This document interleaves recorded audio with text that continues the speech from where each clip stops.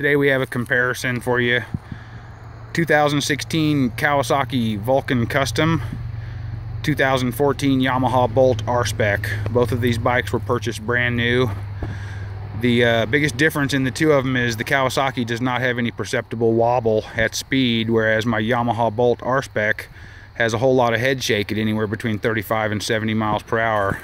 Now I took the Yamaha to three different dealerships. They replaced the front wheel, rebuilt the forks, and then over tightened the steering stem and said it was the nature of the beast that these wheelbase bikes just ride like that.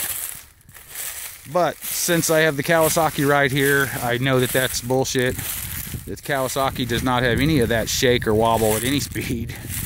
One big difference is the Kawasaki has solid mounted handlebars. The Yamaha has rubber mounted bars. I think that makes a big difference.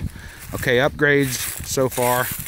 I did put the tweak bars and the gators on the Yamaha. Barons crash bars, custom made bash guard. I did the fender eliminator kit on the back, put the ox blood red saddlebags on there, with the tall sissy bar, passenger seat and foot peg kit. And the coolest thing I did was I converted it to the open billet contrast cut primary belt pulley setup so you can see that thing turning as it goes. I love the color, I love the look of the bike. The instruments are extremely hard to read. Now a little about the Kawasaki. The Kawasaki has a larger gas tank. It has a bit more comfortable seat. It has been upgraded to the Freedom Performance uh, Street Sweeper pipes, which makes a huge difference in the way it sounds. It has a lot healthier, deeper tone to it, a lot louder. Put the big crash bars on this one.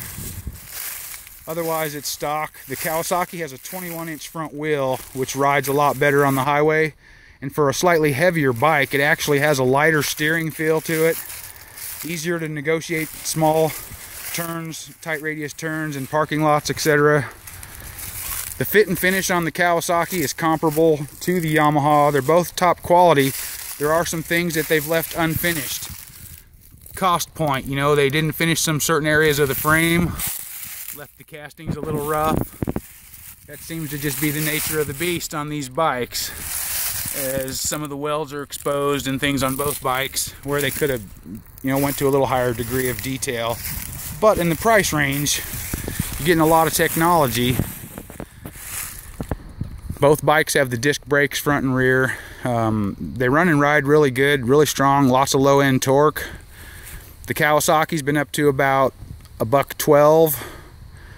Uh, the Yamaha's been up to about a buck 8. So, I mean, they'll run with the big guns, but uh, they're not really sport bikes. They're what I like to think of as kind of sporty cruisers. But if you're considering buying either the Kawasaki Vulcan or the Yamaha Bolt, this information might help you a little.